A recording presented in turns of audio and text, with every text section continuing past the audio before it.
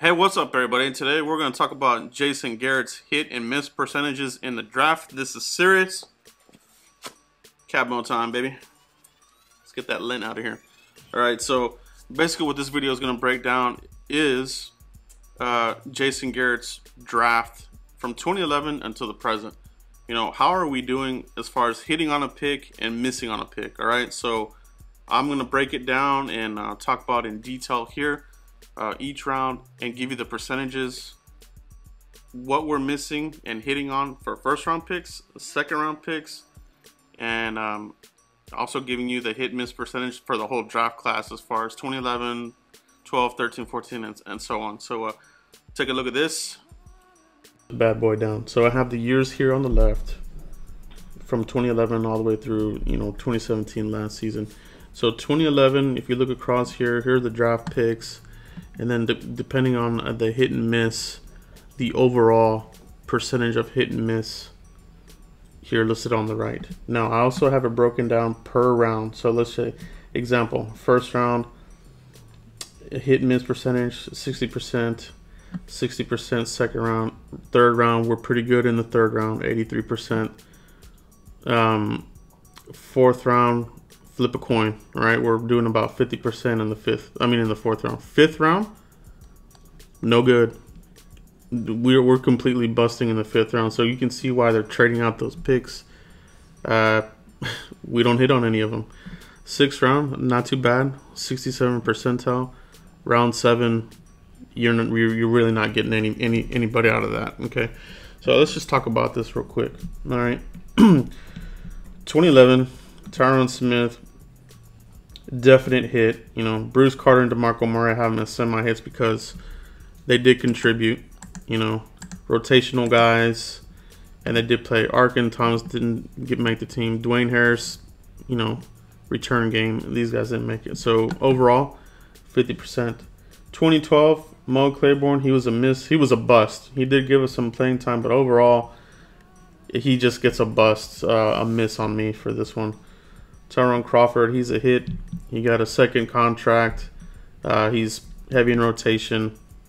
Um, I'm trying to be as objective as possible. You know, I'm, I'm not the biggest Tyrone Crawford fan.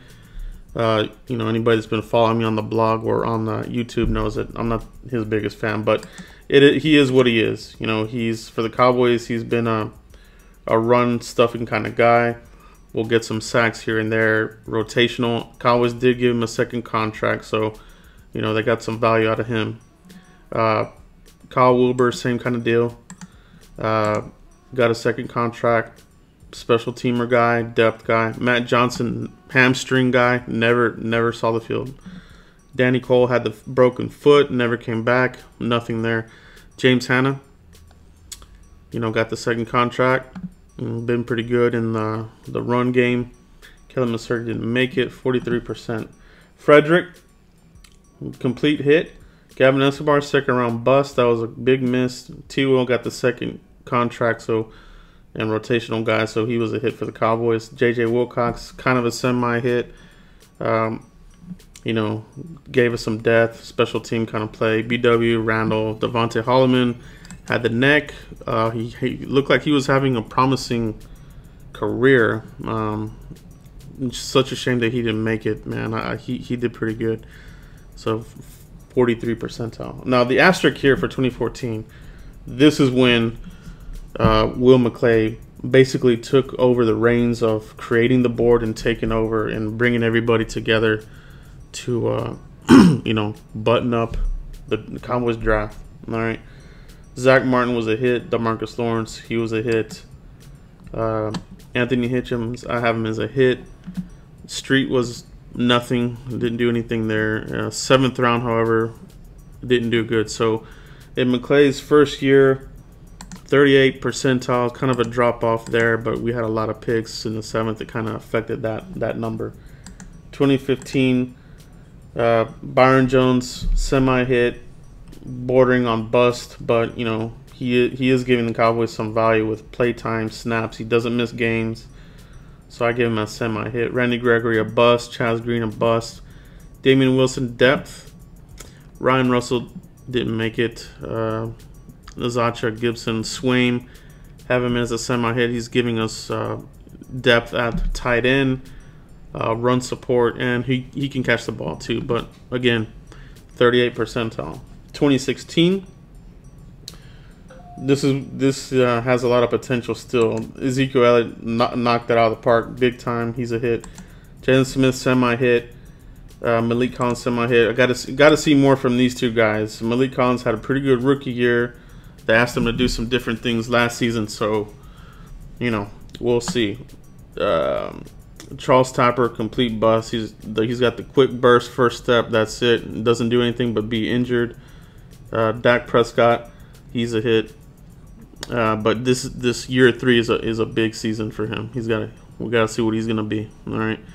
Uh, Brown, Anthony Brown, good rookie season. Kavon Frazier, I just did a video on him. You know how guys, how I feel about this guy. Darius would let him go. Rico Gathers, I have him in an orange as a to be determined kind of guy. So 2016, 67% hit miss value. That's pretty good, right? 2017, uh, I have most of this class as a to be determined because we only got one year of them. So we gotta you know, I got to see another year to, to get a better grasp of it. But I do like what I see in Taco. I, he's finished strong. Chido, once he got past the hamstring and the injury bug, he looked really good. I like him. Jourdan Lewis as well. Solid guy. These guys tackle. Chido, Peanut, you know, he's another Peanut Tillman kind of guy. Always looking for the strip. Brian Switzer finished strong. He got over his injury bug and, you know, figuring out a couple things. So I, I like that there. X Woods, I think, has good potential in the slot, provides depth at safety as well, and he'll be in the mix for safety. Marquez White to be determined. Ivie and Carroll didn't make it. Noah Brown, I like him, so we'll see. You know, we'll see. We'll see what happens here.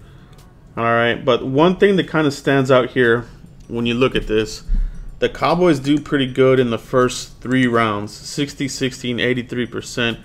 Fourth round and, and, and onward is kind of when kind of when the wheels kind of fall off. And you can see here, if you just step back and look, you see a lot of red on this side of the screen because, you know, you're just, you're getting people out of the top 100 picks and you're just rolling the dice, you know, hopefully you're hoping that the scouting can, uh, can find some gems and that's what it is, man. But the fifth round, we're terrible there. Um, so you can understand why the Cowboys trade out those picks. You know, I don't know if the if there's some kind of uh, you know superstition here where they're just they just trade it out, but they're not hitting any, on any fifth round picks. Okay. All right, guys. So that's the hit and miss percentages on under Jason Garrett. Um, I think our recent draft classes look are looking a lot better. I think Will McClay is getting uh, a better grasp of what the coaches and the, organization are looking for.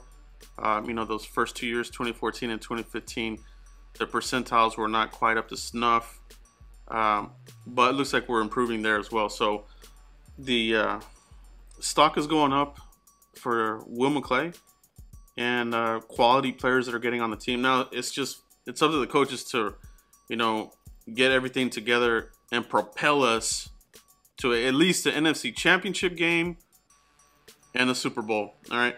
But that's all I have right now, guys. Let me know what you guys think. What do you think about the hit and miss percentages under Jason Garrett and uh, Will McClay when he took over in 2014, the draft board until now. Let me know what you guys think about that.